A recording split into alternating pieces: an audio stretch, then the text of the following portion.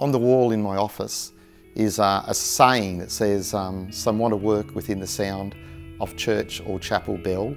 I want to run a rescue shop within a yard of hell. And I know it's hard to think that that would describe Australia, but the reality is that for many people, and particularly for many young people that I work with, uh, life is like hell. Well, the Edify program was created to bridge the gap between the passion that young people have and the awareness that they have about these issues with a human face and proximity. We provide the tools and the training to actually work with the people in our city. We consulted and talked with a lot of young people, you know, we spent a lot of time and um, a lot of them were, were passionate about issues of injustice.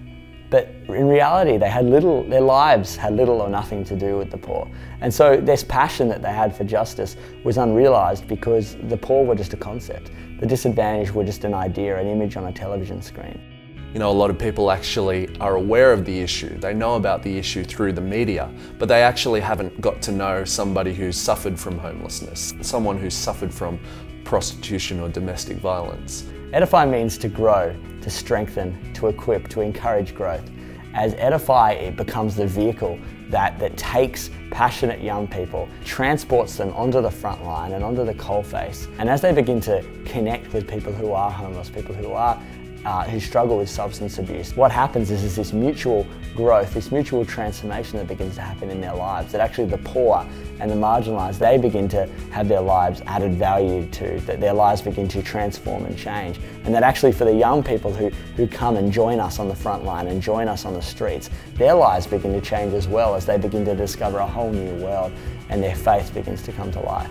The way that we actually train and equip you is to give you a certificate for in youth work, a residential internship and a short-term urban mission project.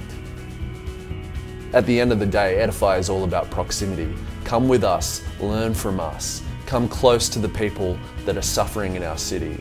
Edify is the vehicle for you to connect with the poor and the marginalised in our cities and in our nation. I have walked the walk. I have walked the walk. I have walked the walk. I walked the walk. And talked the talk. And talked the talk. And I have talked the talk. And talked the talk. I have walked the walk and talked the talk. Come to Edify and we'll put you on the street. And uh, I guess my prayer is that not only will I be able in what I've got left of my time, touch more lives, pull more off the edge of the cliff, see more people securely placed, but also that there might be those who step up and um, you know, join the front line and bolster the ranks because there's lots more needed.